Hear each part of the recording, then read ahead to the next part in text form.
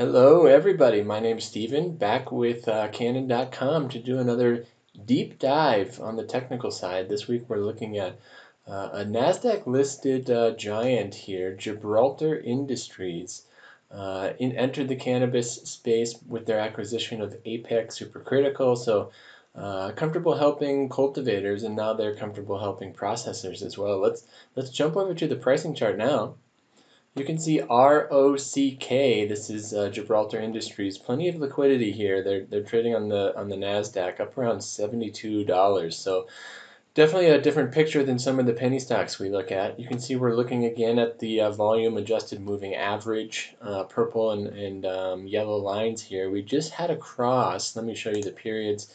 The fast is the purple line. So we just had a cross of our fast period above uh, the yellow line, the purple crossing the yellow line here at about October 12th, that's a sign of strength.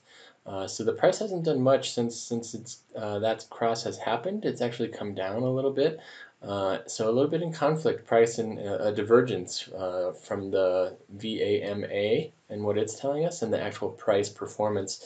The Schaff trend cycle we're looking at here, we, we've looked at this for the last couple weeks.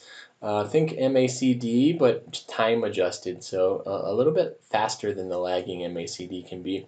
Same interpretation though, uh, high, low here, green and red highlighted for when we're going to be overbought and oversold. And you can see since the end of September, uh, we've really been uh, above 80, close to 100, so it's showing signs of strength here.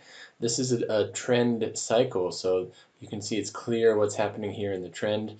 Uh, and then there are the Chaikin oscillator, which we've seen many times, uh, coming back down actually from a peak of about 152,000, definitely headed towards zero. We're going to see if we see a cross here. So some some uh, conflict in the technical indicators here. You can see since uh, about uh, late September, early October, we have been on a nice bull run, 67 up to about 76, gaining close to $10 and then a little bit horizontal, giving some of that back, uh, currently 72 and a half.